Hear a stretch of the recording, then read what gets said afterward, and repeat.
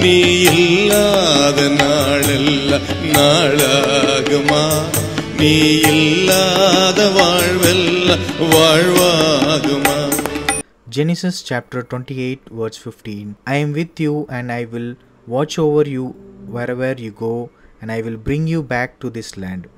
I will not leave you until I have done what I have promised you. Fearing his brother Esau, Jacob fled from his father's house.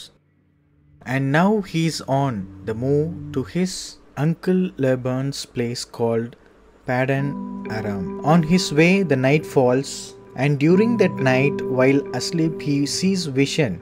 There is a stairway positioned between heaven and earth. Upon the stairs, there are angels walking up and down. And at the top was the Lord speaking to Jacob. God made a promise and blessed him. Jacob, I will give the land you are resting to you and your descendants. I am with you and will watch over you wherever you go and bring you back to this land. I will not leave you until I have done what I have promised you. Thus the Lord gave him a wonderful promise. Jacob, the one who received the vision and a promise from the Lord, continues his journey.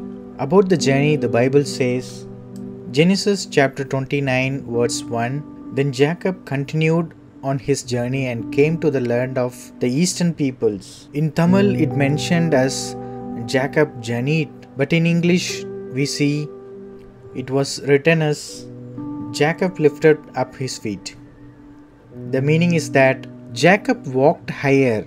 When did that happen? The day he met the Lord and he saw the Lord in a vision and received the promise. From then onwards, about the journey, the Bible says he walked upwards.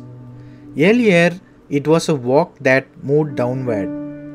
But after he saw the Lord and was given a promise, the Bible says his steps were those moving upward. In short, Jacob's new life. After the place of being born again, where he met God, that was when his spiritual life began.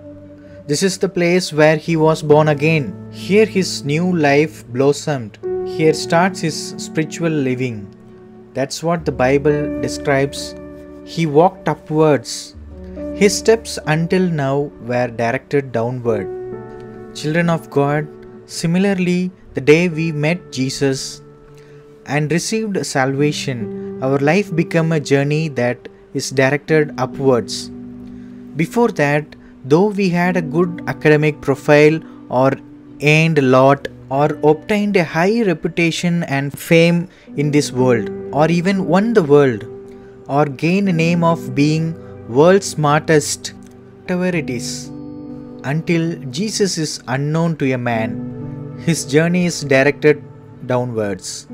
But from the day a man meets Christ and is born again and he starts walking in spite of being in destitution of poverty with nothing being empty. The latter journey of life is a journey upwards. Hallelujah. Hallelujah